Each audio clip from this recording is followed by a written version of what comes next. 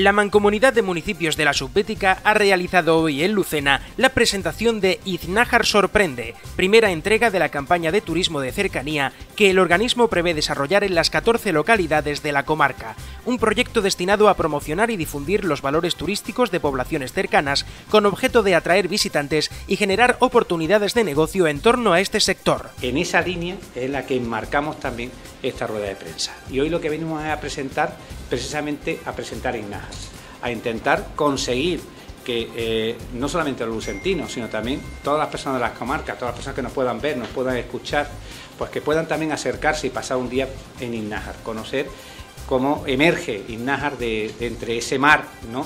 que es el pantano, bueno, pues cómo emerge Innájar y cómo la podemos conocer, o se la conoce muchas veces como una península. ¿no?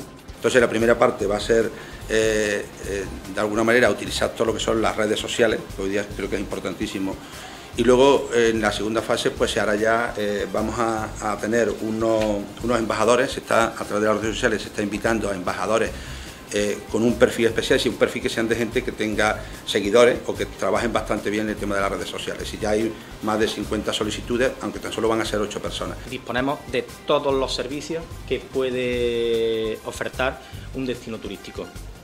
Y cuando digo de todos, digo de todos, eh, con la boca llena, desde restaurantes, bar de tapas, eh, alojamientos rurales, como casas rurales de distintas categorías, casas rurales desde una, llave, dos llaves, eh, VTR, viviendas turísticas rurales, hoteles, camping, bed and breakfast y todo con un perfil de calidad muy alto. Nuestra oficina de turismo lleva un estricto control de, las visitas que, hacen la, ruta en nuestro casco histórico y ahí nos hemos dado cuenta que, bueno, que un torno al 60-65% de las personas que acuden a nuestro pueblo son de 300 kilómetros a la redonda. Por lo tanto, nosotros, eh, a partir de ese dato, pues pensamos que era eh, positivo ¿no? hacer este tipo de campaña de turismo de, cercanía que, bueno, que, nos ayuda a complementar, eh, en fin, y nos ayuda a, completar esa, esa, oferta que queremos, que queremos dar. ¿no?